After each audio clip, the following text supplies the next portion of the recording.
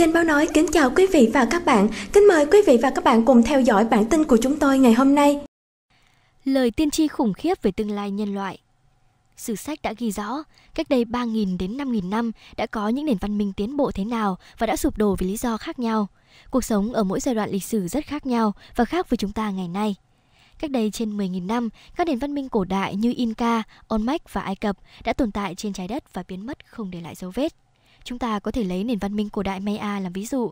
Nền văn minh Maya là một trong những nền văn minh phát triển tiến bộ từng cai trị thế giới. Đại bản doanh của người Maya nằm trong rừng Nam Mexico ngày nay, ở Guatemala và ở Belize. Người Maya chỉ phát triển hệ thống chữ viết tiền Colombia, Mỹ. Nền văn minh Maya phát triển trước các nền văn minh khác ở châu Âu và họ biết cách tạo ra những sản phẩm bằng cao su từ 3.000 năm trước khi con người cổ xưa biết đến cao su. Người Maya đã xây dựng những công trình bề thế, kim tự tháp, thành phố cổ đại và cách viết chữ. Giống như những nền văn minh phát triển khác, người Maya cũng biến mất bí ẩn để người đời sau đưa ra nhiều giả thuyết phán đoán. Các nhà nghiên cứu trên thế giới cũng nhận thấy các nền văn minh khác sụp đổ và biến mất như nền văn minh Maya. Nhiều nhà khoa học cho rằng rất khó đưa ra con số chính xác bao nhiêu nền văn minh đã biến mất. Cuộc nghiên cứu do NASA tài trợ đã đưa ra những bằng chứng đặc điểm của các nền văn minh cổ đại tồn tại cách đây hàng ngàn năm đã biến mất nhà toán học Safa Modestari đã tạo ra mô hình con người và động lực học tự nhiên, biểu diễn quá trình phát triển và sụp đổ của các nền văn minh cổ đại là một chu kỳ tái diễn xuyên suốt chiều dài lịch sử.